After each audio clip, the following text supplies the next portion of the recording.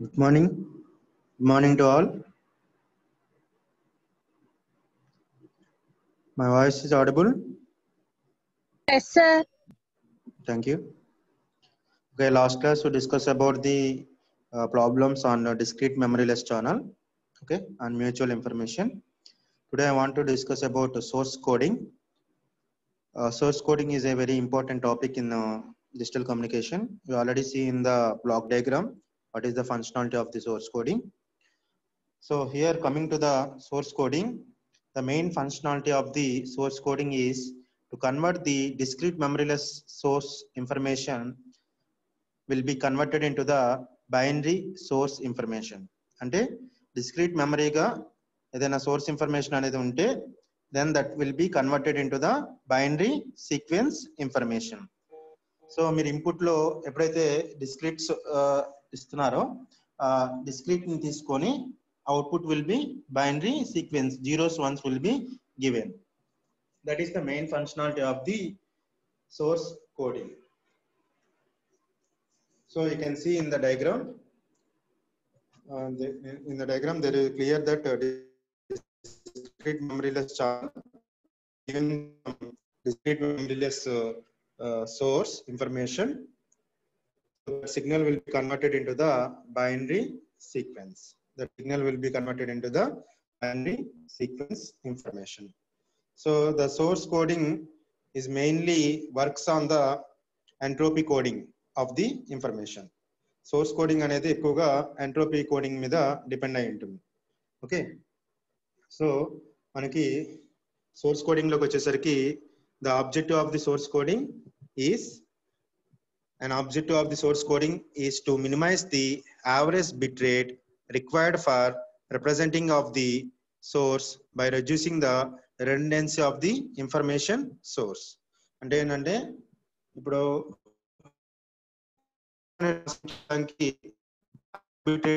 అనుకోండి reduces the uh, bit rate by by using the source coding and also whenever you want to transmit the information that information uh, will be uh, based on the bit rate. That information will be how much of uh, bits that will be transmitted for the uh, information that will be depends on the bit rate. So that bit rate will be reduced by using the source coding, by using the source coding. And source coding ఏం చేస్తుందంటే డేటాని transmit చేస్తున్నారో. Data transmit చేసేటప్పుడు ఇన్ని bits per bit rate అనేది ఉంటుంది. So ఆ bit రేట్ని మనం ఇంకా రెడ్యూస్ చేయడానికి సోర్స్ కోడింగ్ అనేది యూజ్ చేసుకుంటాం. Okay so the functionality is once again the discrete memory information will be converted into the binary sequence information by using the source coding. By using the source coding.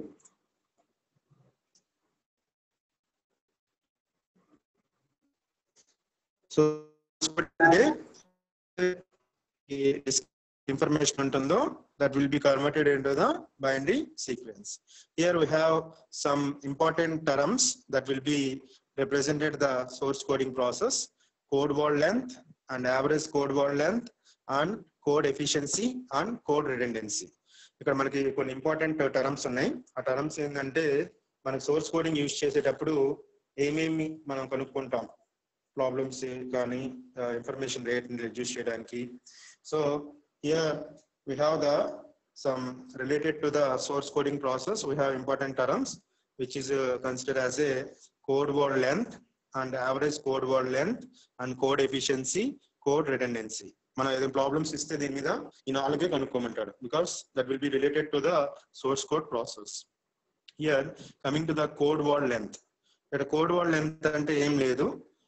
మీరు ఇప్పుడు for suppose zero one one zero అని ఉందనుకోండి that is the code word so what is the code word length means how many of digits that will be present in the that particular code word that is the code word length so ఎన్ని digits ఉంటాయి? Zero one one zero అంటే four digits ఉన్నాయి. So that is the four is the code word length of that particular code word so code word length అంటే ఏంటంటే ఇక్కడ మీరు బ్లైండ్గా గుర్తుపెట్టుకోండి. Zero one one zero one అని ఉందనుకోండి. అంటే ఫైవ్ బిట్స్ ఉన్నాయి.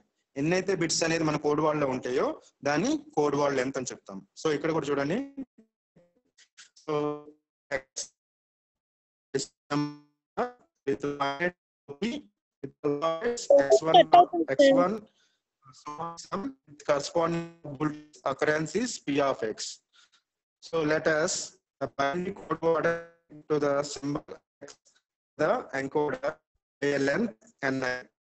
means bits. The length of the code word is the number of digits in the code word.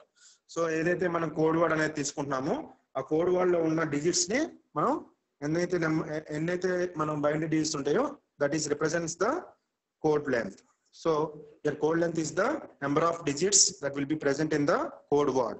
That is the code length will be represented. So మన code length అనేది one అనేది ఉండదు okay one అనేది అంటే ఒక ఒక బిట్టే వస్తే one అనేది తీసుకుంటాం. జీరో జీరో ఉంటే టూ ఇలా త్రీ డిజిట్స్ ఉంటే ఒక code వర్డ్లో that is represented as three so code word length number digits in the code word so average code word length so average code word length for source symbol is represented as L is equal to sigma I is equal to one to M P of X I into N I N I అనేది code word length P of x and the probability of the entropy. Okay. And code word efficiency. Here code word efficiency is represented as efficiency is equal to L minimum by L. And then here L minimum means minimum possibility of the value of the L uh, where N uh, sorry where eta represents the unity the code is represented as a efficient the code is represented as a efficient so మన code code ఎఫిషియన్సీకి కి ఇంకో formula ఉంది. That is represented as entropy by L entropy by L so eta is equal to H by L అని కూడా మనం code వర్డ్ని పిలుస్తాం. So H అనేది మనకు తెలుసు ఎంట్రోపీ ఎల్ వచ్చేసరికి number of digits in the code word number of digits in the code word that is the representation of the efficiency and redundancy redundancy is defined as gamma is equal to 1 minus eta 1 minus eta okay efficiency 1 minus efficiency that is represents the redundancy ఈ నాలుగిటిని మన సమ్స్లో ఎక్కువగా అడిగేది efficiency redundancy number of code word code word length అనేది ఎక్కువగా అడుగుతుంది so number of messages మీరు transmit చేసేటప్పుడు అక్కడ మనం కన్సిడరేషన్ అనేది ఎల్ అనేది తీసుకుంటాం. L is equal to sigma I is equal to one to M P of X I into N I అలానే efficiency is equal to L minimum by L so or entropy by L entropy by L అని తీసుకుంటాం.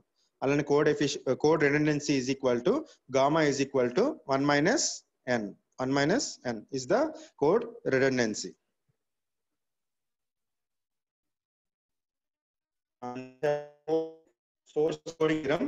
మన తర్వాత ఇది just representation అనేది ఎలా తీసుకుంటున్నాం అనేది ఇక్కడ తీసుకుంటాం. So code sorry source coding theorem source coding theorem states that in discrete memoryless system X with entropy H of X and average code length L for symbol is bounded so L always greater than or equal to H of X so you consider that efficiency will be uh, efficiency is equal to entropy by l. Efficiency is equal to entropy by l. So already మనం ఇందాక discuss చేసే ఎఫిషియన్సీకి L minimum by L అనేది తీసుకుంటాం. ఇక్కడ L minimum అనేది equal to entropy అనేది తీసుకుంటాం. For a discrete memoryless system discrete memoryless system అనేది తీసుకునేటప్పుడు మనం efficiency is equal to H of X by L అనేది రిప్రజెంటేషన్ అనేది తీసుకుంటాం. So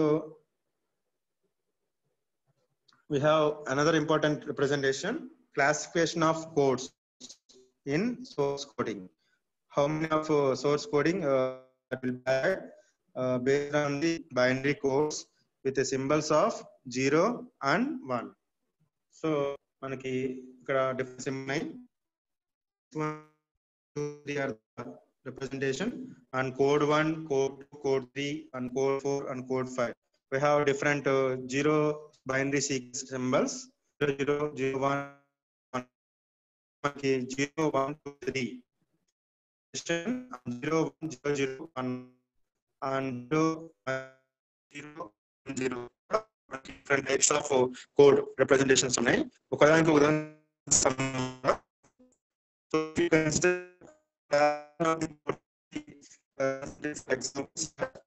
uh, fixed length codes.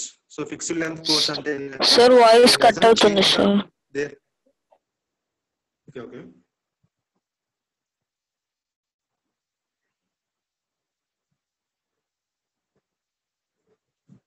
hello sir yes sir source కోడింగ్లో source coding అంటే ఏంటంటే మనం డిస్క్రీట్ ఇన్ఫర్మేషన్ని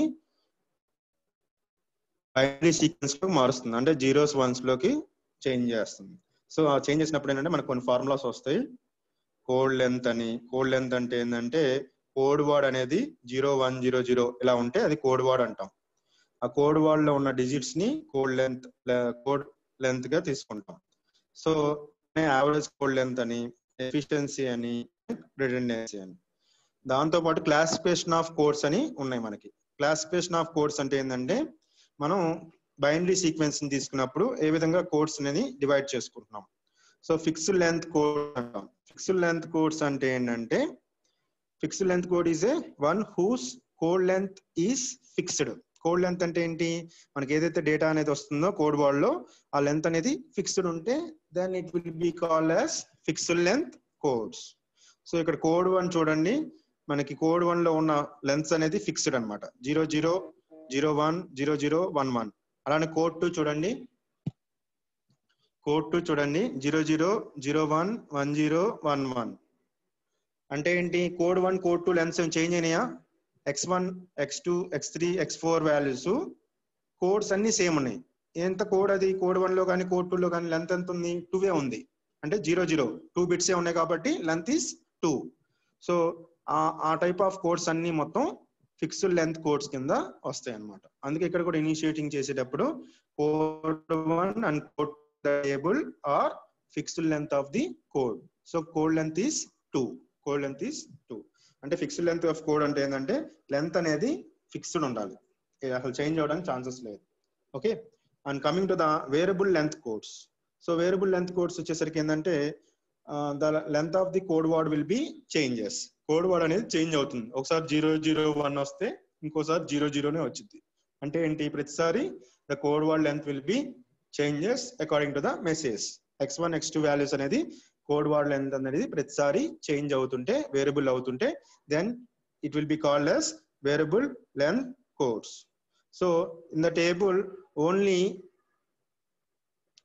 except one and two will be not not variable length codes other all will be considered as a variable length codes one two అనేది fixed కాబట్టి మిగతా ఏవైతే ఉన్నాయో code three code four as a variable length because there code length will be varies length అనేది N value అనేది change అవుతూ ఉంది అక్కడ ప్రతిసారి okay so distant codes distant codes are the distribution from the other codes other code నుంచి వచ్చిన code word ఏదైతే ఉంటుందో యాడ్ చేయడం వల్ల కానీ ఇది నేను రిప్రజెంటేషన్ వల్ల వచ్చిన will comes under the distant codes distant codes కింద రిప్రజెంటేషన్ అనేది తీసుకుంటాం. So co except code one all are will be consider as a distance codes prefix free codes prefix free codes వచ్చేసరికి ఏంటంటే it is a formation of the adding code symbols to another code ఇప్పుడు zero zero ఉంది. One one add చేస్తున్నాం. Okay?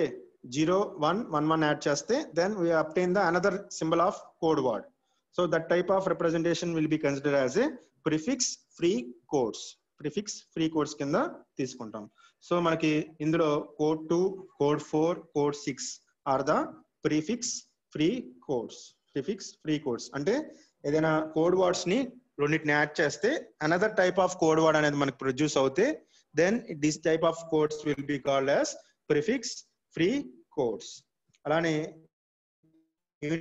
decodable codes unique decodable codes so unique decodable codes వచ్చేసరికి ఏంటంటే if the original source sequence can be reconstructed perfectly from the encoded binary sequence అంటే ఏంటంటే మనకి ఇప్పుడు for suppose one అన్నాం అనుకోండి జీరో జీరో వన్ అంటే మళ్ళీ వన్నే వస్తుంది రీకన్స్ట్రక్ట్ చేసుకున్నా కూడా డికోడ్ చేసినా కూడా.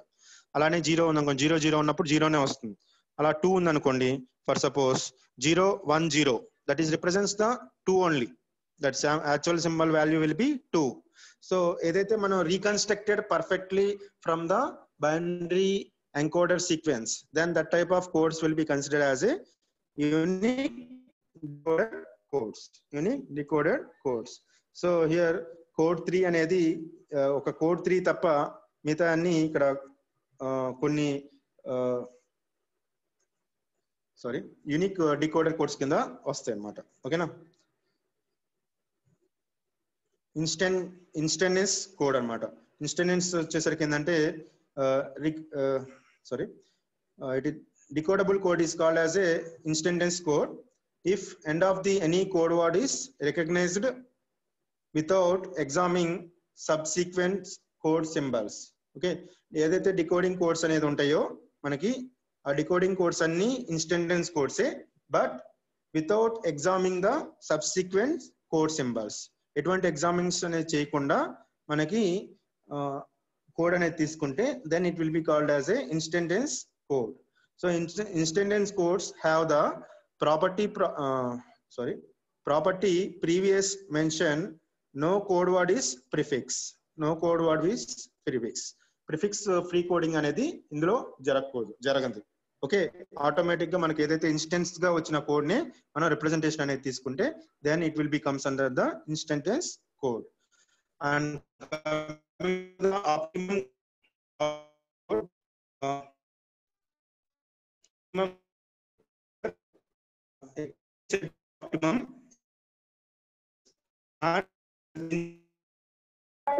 sir voice cut అయిపోతుంది.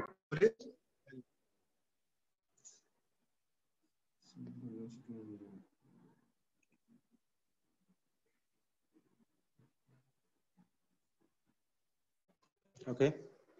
ఆప్టిమం కోడ్ అనేది ఏంటంటే ఇన్స్టెంటెన్స్ ఉండాలి అండ్ మినిమం యావరేజ్ ఎల్ అనేది ఉంటే then it will be comes under the optimum code optimum code అనేది ఎప్పుడైనా గుర్తుపెట్టుకొని యావరేజ్ ఎల్ అనేది ఉండాలి. మినిమం యావరేజ్ ఎల్ ఓకేనా? మనం ఆల్రెడీ ఎల్ అంటే ఏందో తెలుసుకున్నాం. Average code length average code length అనేది మినిమం ఉండాలి. At the same time it will be supported for the instantaneous code instantaneous code so the type of representation is consider as optimum codes optimum codes మీకున్న దాంట్లో three marks అడుగుతాడు జనరల్గా two marks కానీ three marks కానీ ఈ definitions కానీ ఇందాక అడిగిన డెఫినేషన్స్ కానీ కోడ్ ఎఫిషియన్సీ కానీ కోడ్ రెడెండెన్సీ కానీ మీకున్న ఫిఫ్త్ యూనిట్లో త్రీ మార్క్స్ అడగడానికి ఛాన్సెస్ ఉన్నది ఈ ఈ నాలుగు టాపిక్స్ ఓకేనా? And another important is consider as here we have source coding mainly depends on the uh, entropy coding of the information. We already started in, uh, in the previous uh, starting class, today's class starting class. So source coding and the main entropy coding may depend on entropy coding of the information. So it will be divided into the two types. It will be divided into the two types of the coding so మనకి ఇక్కడికి వచ్చేసరికి ఏంటంటే two types Huffman coding And Shannon's Fano coding అని ఉంటుంది. Huffman coding and Shannon's Fano coding entropy codings of the information so మనకి source కోడింగ్ని చేయాలనుకుంటే Huffman coding అయినా యూజ్ చేస్తాం లేదా షానన్స్ ఫెనో కోడింగ్ అయినా యూజ్ చేస్తాం. So first the Huffman coding okay? What is the what is meant by half half half man coding? And uh, what is the uh, example for the half man so that will be represented here. So మనకి Huffman coding మనం explain చేయాలంటే we have the procedure for the Huffman coding before procedure algorithm ఆ procedure algorithm for the half uh, here half man Huffman coding చేయటం వల్ల ఏంటంటే మనకి optimum code అనేది వస్తుంది. And it is the code that will be having the highest efficiency man coding which will be supports for the highest efficiency Huffman coding అనేది ఎక్కువగా highest efficiency రావడానికి chances అనేది ఉంటుంది.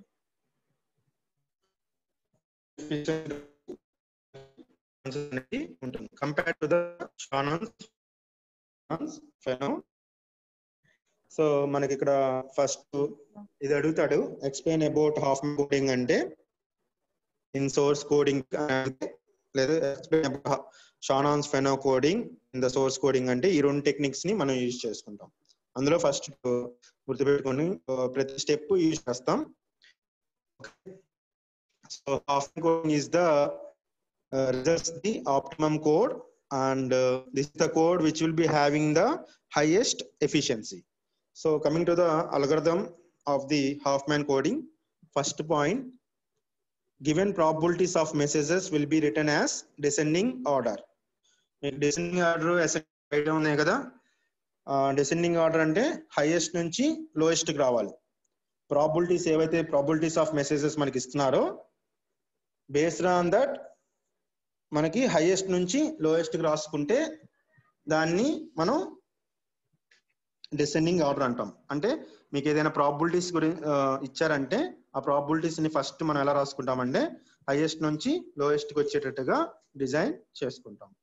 Second point after descending order of the probabilities the lowest two probabilities will be added okay మనం descending ఆర్డర్లో రాసుకున్న తర్వాత lowest two ప్రాబిలిటీస్ని యాడ్ చేస్తాం. And rearrange the descending order with respect of the probabilities again అంటే మనం రాసుకున్న తర్వాత మళ్ళీ రీఅరేంజ్ చేసుకుంటాం నెక్స్ట్ లైన్లో. ఓకేనా repeat the same procedure until we get two probabilities ending process అలా చివరి మనం అలానే సెకండ్ స్టెప్ ఏదైతే ఉందో అదే స్టెప్ని రిపీట్ చేసుకుంటా చివరికి రెండు ప్రాపర్టీస్ మిగిలిపోయేదాకా చేయాలి.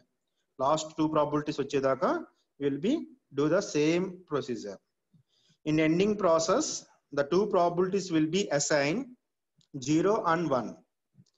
మనకి టూ ప్రాబిలిటీస్ వస్తాయి కదా లాస్ట్లో. ఆ టూ ప్రాబిలిటీస్ ఏంటంటే జీరో ఒకటి వన్ ఒకటి.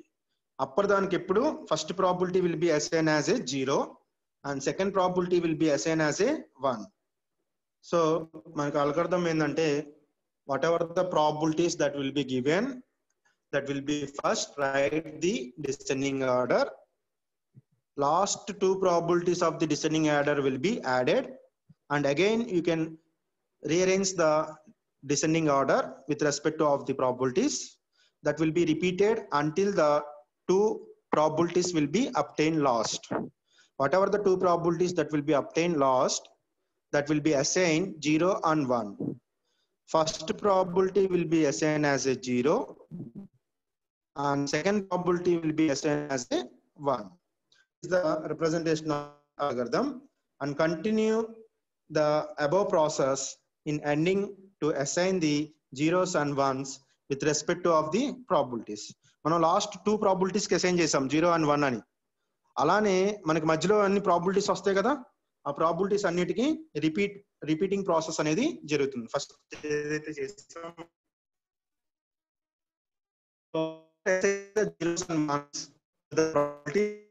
have length or number of digits in the code word with respect to of the probabilities మనం అసైన్ చేసిన తర్వాత ఆ నెంబర్ దగ్గర మనకి కోడ్ వర్డ్ లెంత్ ఎంత ఉంది అనేది మనం ఫైండ్ చేసుకోవాలి after getting the code length then we have calculate the efficiency and redundancy of the code word మనం ఒకసారి కోడ్ వర్డ్ ఎంత అనేది ఫైండ్ చేసిన తర్వాత then can calculate the efficiency of the code word మనం స్టార్టింగ్లోనే చెప్పాం.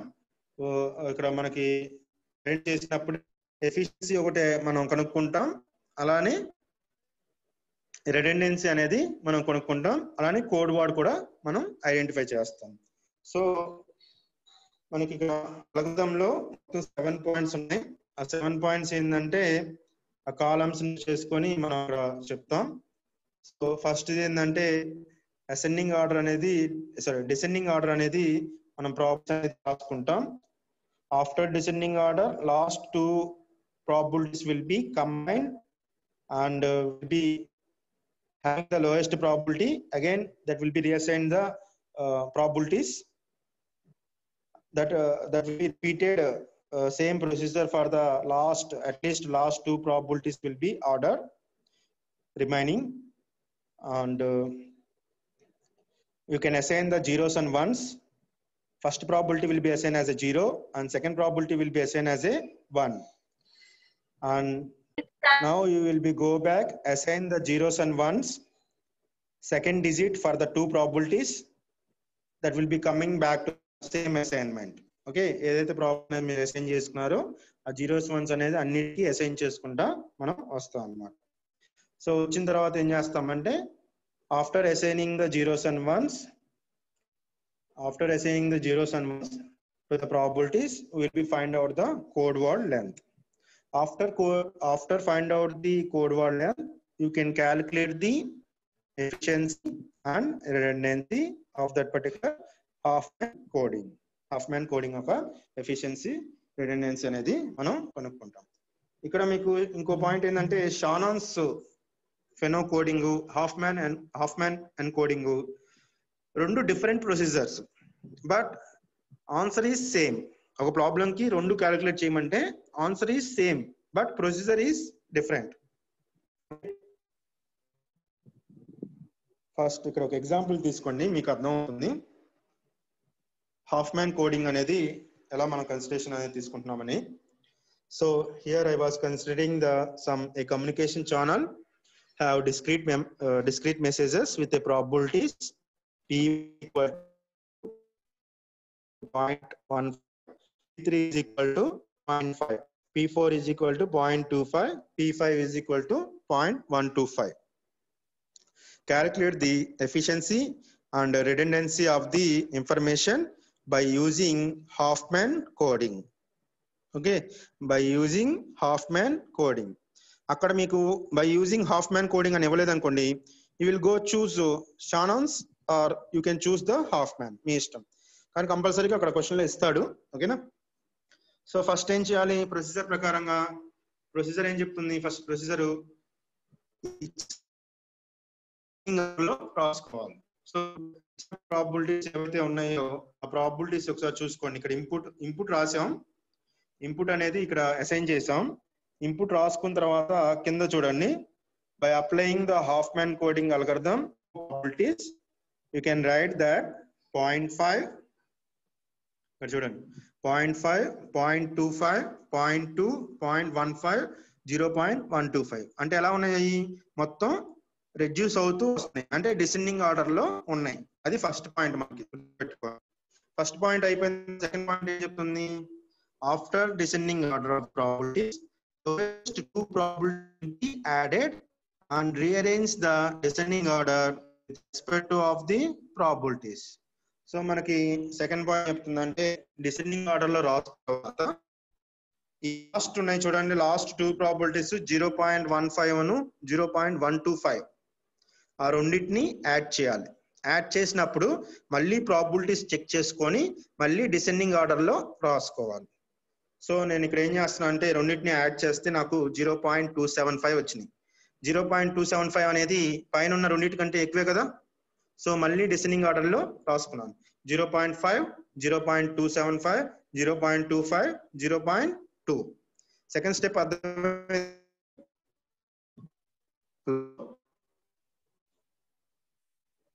హలో? ఉన్నారా.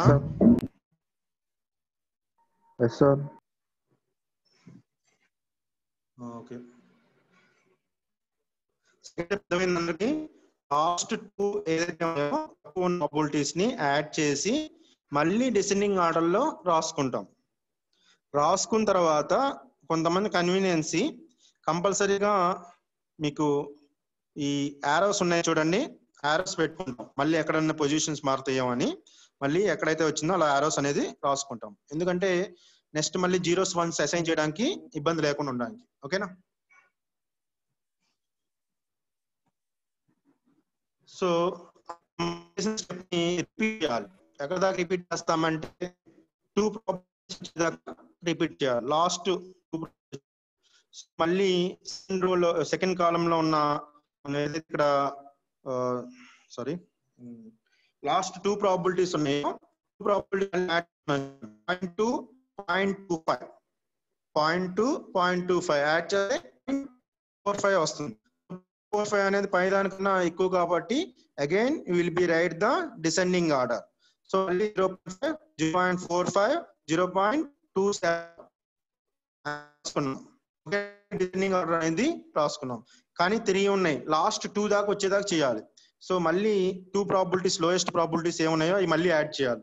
So point four five point two seven five will be obtain the point seven two five ఆ రెండింటిని యాడ్ చేస్తే మనకి point seven five point seven two five అనేది మళ్ళీ డిసిప్లిన్ ఆర్డర్ రాసుకుంటే పాయింట్ సెవెన్ పాయింట్ ఫైవ్ ఓకేనా? ఏవి ఎక్కడి నుంచి వచ్చినాయో అవన్నీ ఆరోస్ నేను అసైన్ చేసుకున్నాను. కంపల్సరీగా అసైన్ చేసుకుంటాం. ఓకేనా? ఇక్కడ దాకా అర్థమైందా? థర్డ్ స్టెప్ దాకా లాస్ట్ టూ ప్రాబిలిటీస్ వచ్చినాయి అనమాట zero point seven two five is the highest and zero point five is the lowest probability ఓకేనా? ఇప్పుడు టూ ప్రాబిలిటీస్ ఏం చేయాలి? Will be assign the zero and one zero ఒకటి one ఒకటి assign చేసుకోవాలి. So first నేను ఫస్ట్ ప్రాబిలిటీ ఏదైతే ఉంటుందో దానికి జీరో అసైన్ చేయమన్నాడు ప్రొసెసర్ ప్రకారంగా అలగ్రదం ప్రకారంగా. అండ్ సెకండ్ ప్రాపర్టీ ఏదైతే ఉందో దానికి వన్ అనేది అసైన్ చేస్తున్నాను. సో ఇక్కడ మీకు డయాగ్రామ్లో మీకు ఇక్కడ ప్రాబ్లం లో క్లియర్గా కనబడుతుంది.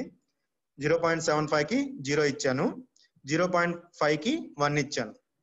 జీరో పాయింట్ ఫైవ్ చూడండి. వన్ అనేది నెక్స్ట్ ప్రీవియస్ ప్రాబిలిటీస్ కూడా అసైన్ చేయమని చెప్పాడు. సో పాయింట్ ఫైవ్ ఉన్న చోటల్లా ఏదైతే యారో మనకు వచ్చిందో పాయింట్ ఫైవ్ ఎక్కడి నుంచి వచ్చిందో వాటి అన్నిటికీ వన్ ఇచ్చుకుంటూ వెళ్ళాను. తర్వాత జీరో పాయింట్ సెవెన్ ఫైవ్ ఎక్కడి నుంచి వచ్చింది? మనకు రెండు యాడ్ చేయడం వల్ల వచ్చినాయి. టూ ప్రాబిలిటీస్ని యాడ్ చేస్తే will be obtain the zero point seven two five. ఆ టూ సారీ ఆ టూ ప్రాబిలిటీస్కి కూడా జీరో అనేది అసైన్ చేశాను. ఓకేనా? ఫస్ట్ పార్ట్ అయిపోయింది. సెకండ్ పార్ట్ ఏం చేస్తున్నాను? అలా జీరో అన్నిటికీ అసైన్ చేసుకుంటూ వెళ్తున్నాను. ఎక్కడైతే మనకు zero point seven two five ఎలా అయితే వచ్చిందో అలా అసైన్ చేసుకుంటా వెళ్ళిపోయాను. ఓకేనా? ఇక్కడ చూడండి పాయింట్ ఫైవ్కి వన్ ఉంది. పాయింట్ ఫోర్ ఫైవ్కి జీరో జీరో ఉంది. పాయింట్ టూ సెవెన్ ఫైవ్కి వన్ జీరో ఉంది. జీరో జీరో ఫస్ట్ రెండు జీరోస్ ఉన్నాయి చూడండి. అంటే ఎలా చెప్తానంటే మీకు first zero point seven two five అనేది ఈ రెండింటిని జీరోస్ వల్ల వచ్చినాయి కాబట్టి జీరో అనేది జీరో జీరో ఇచ్చేసాం. మళ్ళీ ఈ టూ ప్రాబిలిటీస్ యాడ్ చేస్తున్నాం కాబట్టి పైన జీరో ఇస్తున్నాను కింద వన్ ఇస్తున్నాను. ఎటువైపు ఇస్తున్నాం అంటే లెఫ్ట్ సైడ్ ఇస్తున్నాం. రైట్ సైడ్ వేసుకోకూడదు. రైట్ సైడ్ వేస్తే మళ్ళీ తేడా వచ్చింది మీకు. లెఫ్ట్ సైడ్ వన్ ఇస్తాం లెఫ్ట్ సైడ్ జీరో ఇస్తాం సో జీరో పాయింట్ ఫోర్ ఫైవ్కి ఆల్రెడీ జీరో ఉంది. మళ్ళీ అప్పర్ ప్రాబిలిటీ కాబట్టి జీరో ఇస్తున్నాను. జీరో పాయింట్ టూ సెవెన్కి ఆల్రెడీ జీరో ఉంది. లోయర్ ప్రాబిలిటీ కాబట్టి వన్ ఇస్తున్నాను zero one will be same to the zero point four five and zero point two seven five so zero point four five అనేది add చేయడం వల్ల వచ్చింది. So zero zero అనేది మళ్ళీ continue that will be given to the zero point two five and zero point two ఓకేనా again they will be give the zero and one again will be give the zero and one so zero point two five వచ్చేసరికి again మనం zero one ఇచ్చినప్పుడు zero zero zero one zero వచ్చేస్తుంది. అలానే zero point టూకి వచ్చేసరికి one zero zero వచ్చేస్తుంది. అలానే మనకి zero point two seven five అనేది వన్ జీరో అనేది ఉంటుంది. That will be add to the two probabilities so two ప్రాబిలిటీస్కి zero point one ఫైవ్కి one zero zero point one two ఫైవ్కి వన్ జీరో ఉంటుంది. ఎప్పుడైతే జీరో వన్ అనేది మళ్ళీ అసైన్ చేస్తారో then zero point one five will be obtain zero one zero and zero point one two five will be obtain one one zero one zero so all the probabilities will be the code word length code word length అనేది అన్నిటికీ మనకి వచ్చేసింది. So ఇప్పుడు మనం ఏం చేస్తామంటే you want to find out the code word for the code word length for the from the code words ఇక్కడ ఏవైతే కోడ్ వర్డ్స్ అనేది మనకు వచ్చినాయో వాటి నుంచి కోడ్ వర్డ్ లెంత్ అనేది ఐడెంటిఫై చేయాలి. So for that purpose I will take the some table representation for that purpose I was considering the some table representation so that table is represents that probabilities code word number of digits in the code word so here point ఫైవ్కి మనకి ఎంత వచ్చింది? One ఒకటే వచ్చింది. One అంటే ఎంత? Code word code word is one so number of digits in the code word is one only ఒక డిజిటే ఉంది. సో ఒక డిజిటే కాబట్టి number of digits is equal to one. అలానే పాయింట్ టూ ఫైవ్ ఉంది. Point two five code word వచ్చేసరికి zero zero zero. Okay ఇక్కడ వచ్చిన కోడ్ వర్డ్ ఏదైతే ఉందో అది ఇక్కడ ప్రెజెంటేషన్ అనేది తీసుకుంటాం. So zero zero zero is the code word of the zero point two five. అలానే కోడ్ లెంత్ వచ్చేసరికి ఎంత ఉంది? త్రీ డిజిట్స్ ఉన్నాయి కాబట్టి code length is equal to three. Code length is equal to three. Similarly point two చూడండి. Point టూకి వచ్చేసరికి code word అక్కడ ఏముంది? వన్ జీరో జీరో ఉంది. పాయింట్ టూకి వచ్చేసరికి మన కోడ్ వర్డ్ వచ్చేసరికి వన్ జీరో జీరో ఉంది. సో డిజిట్స్ ఎన్ని ఉన్నాయి? త్రీ ఉన్నాయి. సో త్రీ డిజిట్స్ కాబట్టి code is three zero point one five code word is zero point one zero then number of digits in the code word is length is equal to three and similarly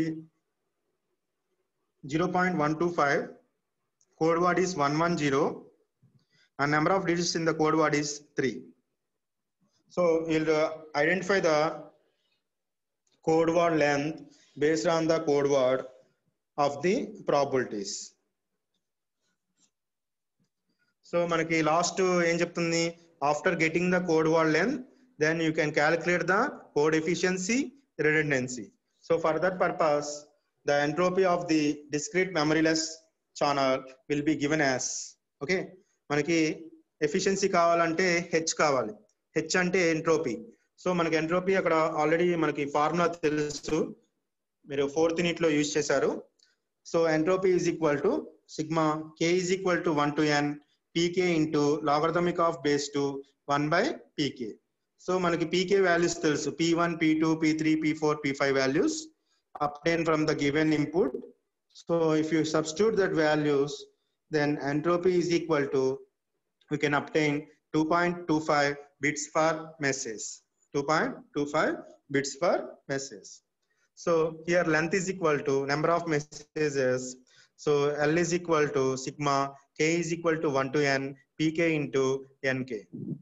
So మనం దాని ప్రకారంగా average length అనేది తీసుకుంటే L is equal to two point six seven five P one values తెలుసు. ఎన్ value వచ్చేసరికి already no NK value అంటే ఇక్కడ మీరు క్యాల్కులేట్ చేశారు కదా number of digits number of digits NK value so first the N N not an one N two N three N four ఓకేనా that is the values so ఇక్కడ మనకు వచ్చేసరికి ఎన్ values తెలుసు పి వాల్యూస్ తెలుసు. You can substitute that value you can obtain the L is equal to two point six seven five two point six seven five so efficiency is equal to entropy by L so entropy is equal to two point two five by L is equal two point six seven so efficiency is equal to zero point eight six efficiency is equal to zero point eight six so redundancy వచ్చేసరికి one minus efficiency so one minus efficiency వచ్చేసరికి zero point two six అనేది మనకి redundancy అనేది తీసుకున్నాం so like that you can identify the source encoding by using the Huffman coding by using the Huffman coding ఈ విధంగా మీకు problems ఇస్తాడు theory ఇస్తే you will be explain the algorithm and with example compulsory if they will be given explain about the Hoffman coding, then you will go for the procedure algorithm and we will be explain the small example will be taken. Okay, you can explain the small example. This is the first talk, source coding, Hoffman coding. ఓకేనా దీని మీద problems చేద్దాం. అర్థమవుతుందో అర్థమవుతుంది మీకే నిదానంగా. ఓకేనా ఏదైనా డౌట్ ఉందా? హలో దీంట్లో ఏదైనా డౌట్ ఉందా? సార్ కోడ్ వర్డ్ ఎలా వచ్చిందో చెప్పరా? కోడ్ వర్డ్ అంటే ఇప్పుడు ఈ టేబుల్లోనా ఎస్ ఈ code word one zero zero one zero zero అయ్యేనా? Yes sir అవి ఇక్కడ మనం రాసుకున్నాం కదమ్మా ఇక్కడ ప్రాబిలిటీస్ ఉన్నాయి కదా. ఈ ప్రాబిలిటీస్ యాడ్ చేసుకుంటూ వచ్చి ఇది అర్థమైందా నీకు? యాడ్ చేసిన తర్వాత మళ్ళీ డిసెండింగ్ ఆర్డర్ రాయటం? ఎస్ సార్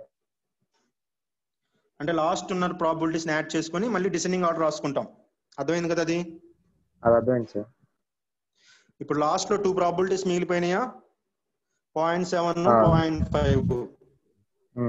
ఆ మిగిలిపోయిన తర్వాత మనం జీరోస్ వన్స్ అసైన్ చేసుకోవాలి.